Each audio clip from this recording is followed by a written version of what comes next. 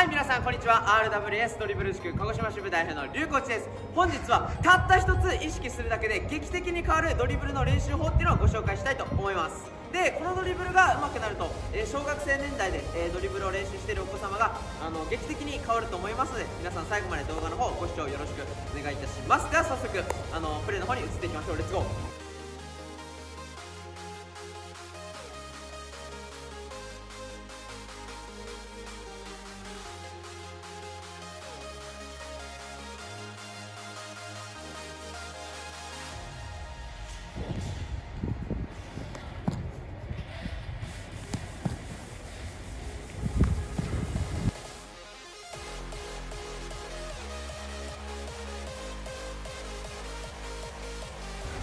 今やったドリブルが軸足ドリブルっていうやり方になります。であのまず最初にやり方を解説するんですけど苦手な方の足を前得意な方の足を後ろこの状態でまずボールを持ちます。そしたら親指でボールを2回触ってあげます。そしたら小指でボールを押し出して指の裏で止めてあげるっていうやり方になってきます。で1番目と2番目でやり方あのなんとなく違ったと思うんですけどあの何が違うかっていうとあの緩急がついてるかついてないかっていうところだと思います。で緩急って何かっていうとゆっくりから速く速くからゆっくりのことを緩急って言います。なのであのこのドリブルで緩急を使うにはまず親指で触るところはゆっくりボールを触ってあげるそしたら小指でボールを触るときは相手を抜く瞬間だと思うので小指でボールを触るときにスピードをアップしてボールを止めてあげる。この持ち方一つ意識するだけで相手との距離感であったりとかすごく変わってくるので皆さんここを意識してぜひ練習してみてください。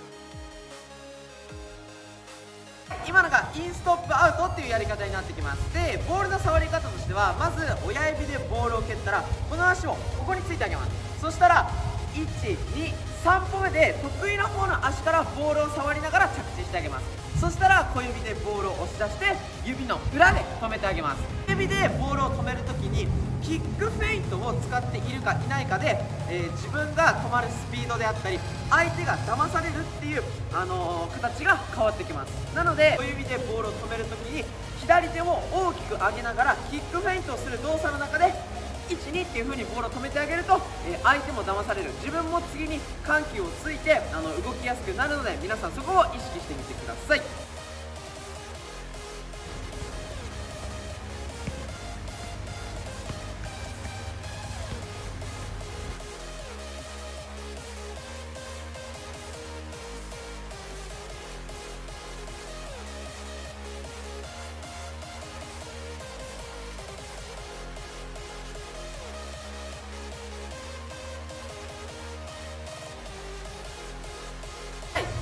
1.5歩ドリブルというあのドリブルの練習法になります、えーこれはあの狙って相手を抜く技ではなくボールがとっさに自分のあの思ってはない方向に出てしまった時にとっさに足が出るようになるための練習です。でやり方なんですけど全部小指で触ります。でまず近い方の足の小指でボールを触ってあげたら触っていない遠い足の方の小指をボールと足の隙間の間に入れてあげます。そしたら今足がクロスしているので後ろの足を真横に持ってきてあげる。そしたら近い方の足を小指でボール蹴ってあげてボールと足の隙間に IC も入れてあげる。そしたら緩急のこれの付け方なんですけど小指でボールを蹴った後に